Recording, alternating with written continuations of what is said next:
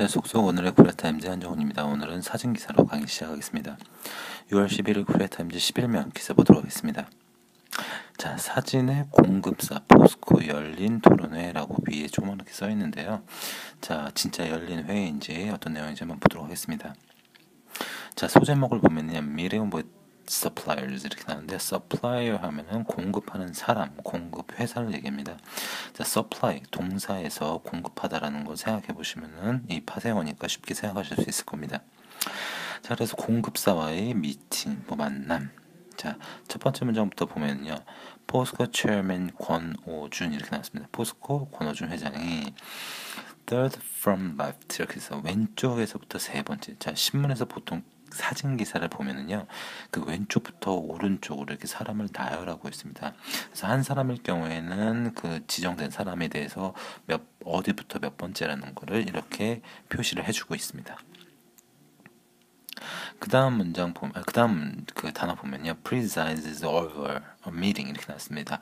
preside 하면은 회의를 주재하다, 뭐 주도하다라는 얘기가 되겠습니다. 그래서 preside over the over meeting 이렇게 같이 써서 사회를 보다, 뭐 진행하다라는 뜻이 되겠습니다.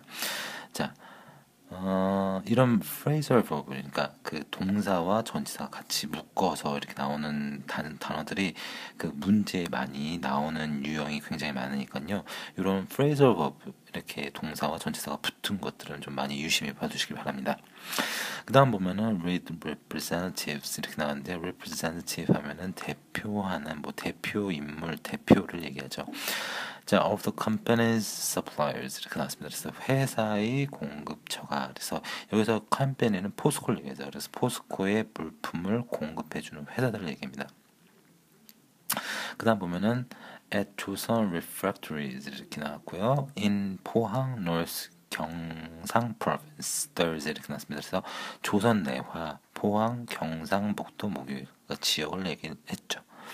자, 그 다음 문장 보면은 the meeting. 자, 이 회의는 이 만남은 was organized 이렇게 나왔는데요. organize 하면은 계획하다, 기획하다 뭐 여러 가지 뜻이 있죠. 굉장히 많습니다.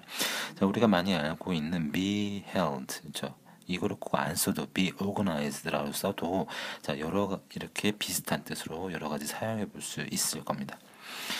자, 그래서 be organized. 그래서 기획되었다. 자, to build win-win relations. 이렇게 나옵니다. 윈윈 관계. 윈윈하다는 전략이죠. 그래서, 자, 뭐, 이거 단어만 보더라도 무슨 말인지 충분히 얘기를 할 수 있는데, 양쪽 다, 둘 다 이기고, 이득이 되는 관계를 얘기하는 거죠. 그래서, 뭐, 아무래도 하청 공급업자들이 하등이 있을 테니까, 굳이 한국말로 하자면, 뭐, 서로 상생 관계, 뭐, 이런 게 되겠죠.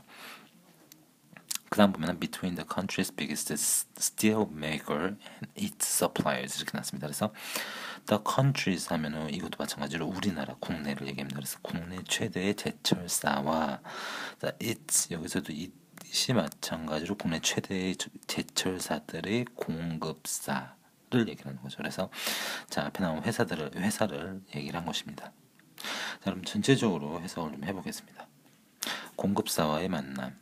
포스코 권호준 회장이 왼쪽에서 세 번째. 자, 목요일 경상북도 포항 조선 내화에서 자사의 공급사들이 대표들과 미팅을 진행하고 있다. 이 회사는 국내 최대의 제철사와 공급사들 간의 상생 관계를 맺기 위해 기획되었다. 이렇게 해석이 되겠습니다. 자, 오늘도 사진 기사로 강의했고요. 오늘, 내일도 사진 기사나 아니면 기사로 강의하겠습니다. 감사합니다.